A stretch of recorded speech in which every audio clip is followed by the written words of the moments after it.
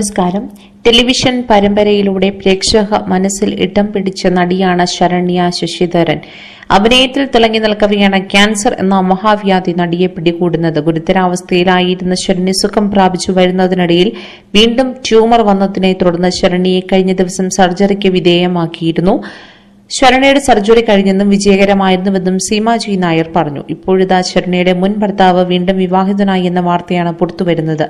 ശരണ്യ ആശുപത്രി കിടക്കയിൽ കിടക്കുമ്പോൾ ബിനു വീണ്ടും വിവാഹിതനായെന്ന വിവരമാണ് പുറത്തുവരുന്നത്. ഈ അവസ്ഥ ശരണ്യയ്ക്ക് താങ്ങാൻ സാധിക്കണമെന്നാണ് ആരാധകർ ഒന്നടങ്കം പറയുന്നത്. രണ്ടായിരത്തി പതിനാല് ഒക്ടോബർ ഇരുപത്തിയാറിലാണ് ഇരുവരും വിവാഹിതരായത്. വിവാഹം കഴിഞ്ഞും ശരണ്യെ ട്യൂമർ വേട്ടയാടിയതോടെ ബിനു ഉപേക്ഷിക്കുകയായിരുന്നു. ഏകദേശം ഇപ്പോൾ പത്ത് സർജറിയോളം ശരണിക്ക് ചെയ്തു കഴിഞ്ഞിട്ടുണ്ട്. ഇതിൽ നിന്നും എത്രയും വേഗം മാറ്റമുണ്ടായി തിരികെ വരണമെന്ന പ്രാർത്ഥനയിലാണ് പ്രേക്ഷകരും.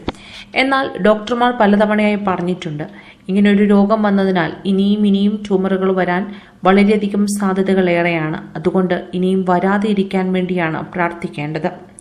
അതേസമയം ശരണിക്ക് ഒരുപാട് ഇഷ്ടമായിരുന്നു ഭർത്താവിന്. എന്നാൽ ശരണിയുടെ ജീവിതത്തിൽ ട്യൂമർ വിട്ടുമാറാതെ നിന്നപ്പോൾ ബിനു ശരണ്യെ ഉപേക്ഷിക്കുകയായിരുന്നു. ഇപ്പോൾ ആശുപത്രി കിടക്കുന്ന ശരണിക്ക് താങ്ങാകേണ്ട ആൾ മറ്റൊരു വിവാഹം കഴിച്ചു എന്ന വാർത്തയാണ് പുറത്തുവരുന്നത് ഇതിനെതിരെ പലരും രംഗത്ത് വരുന്നുണ്ടെങ്കിലും അത് ഓരോരുത്തരുടെ വ്യക്തിപരമായ ഇഷ്ടമാണെന്ന് മറ്റൊരു വിഭാഗം ആളുകൾ അഭിപ്രായപ്പെടുന്നു. കൂടുതൽ വാർത്തകൾക്കായി ഈ ചാനൽ സബ്സ്ക്രൈബ് ചെയ്യുക.